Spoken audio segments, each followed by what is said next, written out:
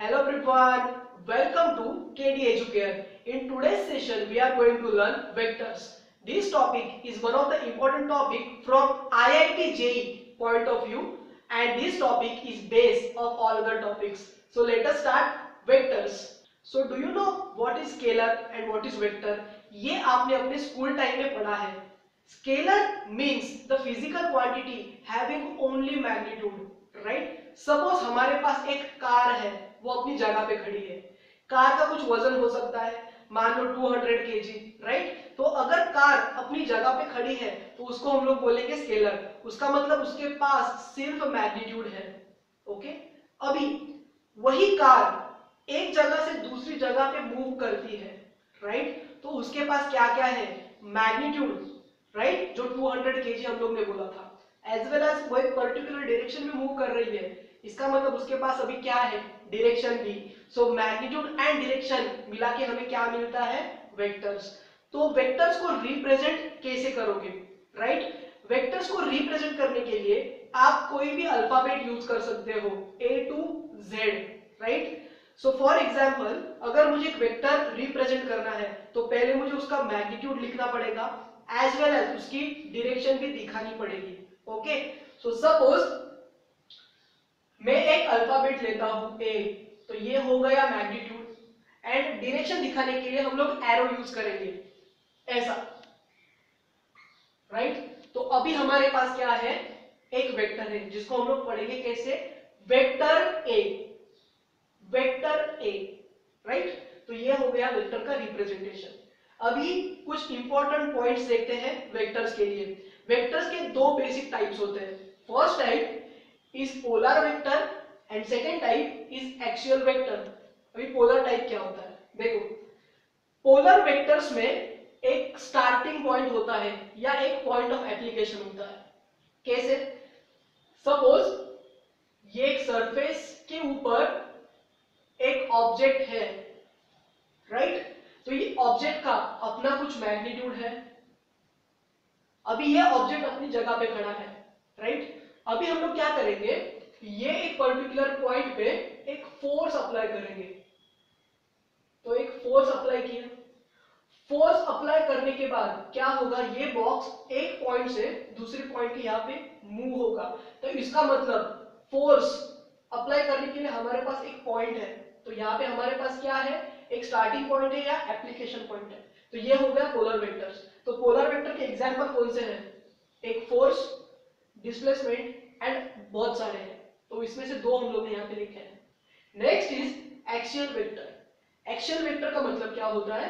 Axial vector has rotation effect and it acts along the axis of rotation in accordance with right hand screw rule right hand screw rule क्या होता है? ये हम लोग थोड़े time के बाद पढ़ेंगे। फ़िलहाल तो rotation effect and axis of rotation क्या होता है? सपोज़ मेरे पास ये एक एक्सिस है राइट और अगर कोई ऑब्जेक्ट ये एक्सिस के अराउंड में रोटेट करता है so that is called as a rotational effect and ये क्या हो गया उसका? एक्सिस तो ये पॉइंट का मतलब है। अभी उसके एग्ज़ाम्पल कौन से हो सकते हैं?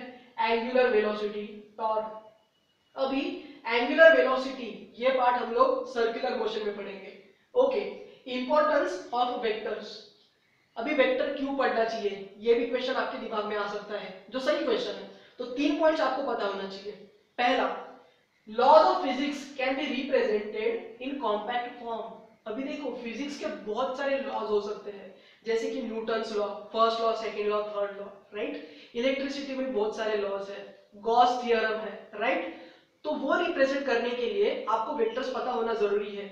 अगर आपके पास वेक्टर का प्रॉपर नॉलेज है तो वो सारे लॉस आप एक कॉम्पैक्ट फॉर्म में रिप्रेजेंट कर सकते हो। Point number two derivations involving many laws can be simplified अभी बहुत सारे लॉज आपको एक साथ यूज़ करके अगर कोई डेरिवेशन बनाना है राइट तो सोचो कि वो कितना बड़ा हो सकता है, अगर आप वेक्टर यूज़ नहीं कर रहे हो तो। लेकिन अगर आपके पास वेक्टर का प्रॉपर नॉलेज है तो बहुत सारे लॉज कंबाइन करके आप एक सिंप्लीफाइड डेरिवेशन बना सकते हो। तो ये सेकेंड पॉइंट है। And point number three laws of physics express in vector forms remains invariant invariant का मतलब चेंज नहीं होगा. For translational and rotational coordinate system right तो ये तीसरा पॉइंट है. अभी वेक्टर्स पढ़ने के लिए कुछ बेसिक डेफिनेशंस आपको पता होने चाहिए. वो डेफिनेशंस पढ़ने के बाद ही हम लोग वेक्टर्स का जो आगे का पार्ट है, वहाँ पे प्रोसीड करेंगे. So few definitions first definition क्या है? Modulus of vector modulus of vector क्या दिखाता है हम लोग को? मैग्नीट्यूड कुछ टाइम पहले हम लोग ने देखा था वेक्टर रिप्रेजेंट करने के लिए हमारे पास क्या होना चाहिए? एक मैग्नीट्यूड होना चाहिए एंड उसका डायरेक्शन होना चाहिए। तो ए क्या हो गया? मैग्नीट्यूड तो मैग्नीट्यूड को रिप्रेजेंट करने के दो तरीके हैं। So modulus of vector that is modulus of vector A is A मतलब सिंपल अल्फ़ाबेट लिखो आप, या फिर दो स्ट्रेट लाइंस और उसके बीच में वेक्टर राइट तो ये मॉड्यूलस ऑफ़ वेक्टर का एक सिंबल हो गया। सेकेंड डेफिनेशन देखते हैं। Unit vector unit vector is unitless and dimensionless quantity अभी यूनिट वेक्टर को रिप्रेजेंट कैसे करोगे? यूनिट वेक्टर को रिप्रेजेंट करने के लिए आप कोई भी एक स्मॉल अल्फ़ाबेट लो या कोई भी एक अल्फ़ाबेट लो। फॉर एग्जांपल यहाँ पे मैं ले रहा हूँ n n cap which is equal to vector A upon A right तो यहाँ पे हमारे पास एक वेक्टर है एंड नीचे हमारे पास उसका मैग्नीट्यूड है। तो ये हो गया यूनिट वेक्टर यूनिट वेक्टर को डिटेल में हम लोग थोड़े टाइम के बाद में पढ़ेंगे. नेक्स्ट इक्वल वेक्टर्स हमारे पास दो वेक्टर्स हैं, जिनका मैग्नीट्यूड भी सेम है एज वेल एज उनका डायरेक्शन भी सेम है. So A vector equal to B vector next is negative vector हमारे पास दो वेक्टर्स हैं, जिनका मैग्नीट्यूड तो सेम है, लेकिन उनका डायरेक्शन अपोजिट है. तो अगर ऐसा कुछ है तो उसको बोला जाएगा negative vector and it is represented by vector A which is equal to minus of vector B तो ये नेगेटिव सिंबल क्यों लिया? डायरेक्शन अपोजिट है, उसकी वजह से। Next coinitial vectors coinitial vector मतलब दो वेक्टर्स जिनका स्टार्टिंग पॉइंट सेम है या उनका ओरिजिन सेम है। तो उसको बोला जाएगा को initial vector next collinear vector collinear vector में क्या होता है? अगर हमारे पास इक्वल और अनइक्वल मैग्नीट्यूड्स के वेक्टर्स हैं, and they act along the same parallel straight lines, then they are called as a collinear vector. Next is coplanar vector. Suppose हमारे पास एक प्लेन है एंड वो प्लेन के अंदर हमारे पास वेक्टर्स हैं for example A vector B vector और बहुत सारे हो सकते हैं सी वेक्टर डी वेक्टर बहुत सारे हो सकते हैं। अगर ये सारे वेक्टर्स एक पर्टिकुलर प्लेन के अंदर है तो उसको बोला जाएगा coplanar vectors next is important ये आपको ध्यान में रखना ही है. Position vector and displacement vector ये हम लोग आगे बहुत जगह पे यूज़ करेंगे तो ये आपको आना ही चाहिए. तो पहले पोजिशन वेक्टर का डेफिनेशन देखते हैं, उसके बाद उसका एक्सप्लेनेशन देखते हैं. तो पोजिशन वेक्टर का डेफिनेशन में क्या लिखा है? Position vector gives straight line distance of the object from the origin or starting point it also tells direction of the position of the object with respect to origin तो ये हो गया उसका डेफिनेशन अभी उसका एक्सप्लेनेशन देखते हैं। Suppose मेरे पास एक्स एक्सिस है मेरे पास वाई एक्सिस है और मेरे पास है कि ओरिजिन राइट तो सपोज़ एक ऑब्जेक्ट ओरिजिन से स्टार्ट हो रहा है और वो एक पर्टिकुलर डायरेक्शन में मूव कर रहा है। सपोज़ यहाँ ए से गया वो ठीक है? सो so, हम लोग ने ओरिजिन से एक वेक्टर ड्रॉ किया, जिसको नाम दिया हम लोग ने ओ ए राइट तो ओए क्या रिप्रेजेंट करता है?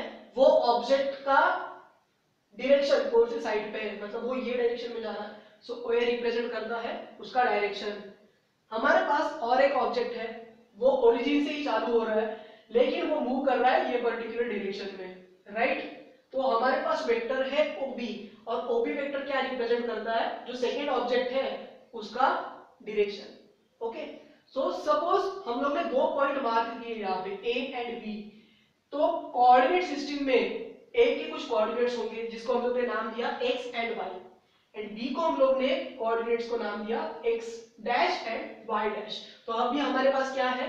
दो कोऑर्डिनेट्स अभी यहाँ पे इंपॉर्टेंट पॉइंट ध्यान में रखो।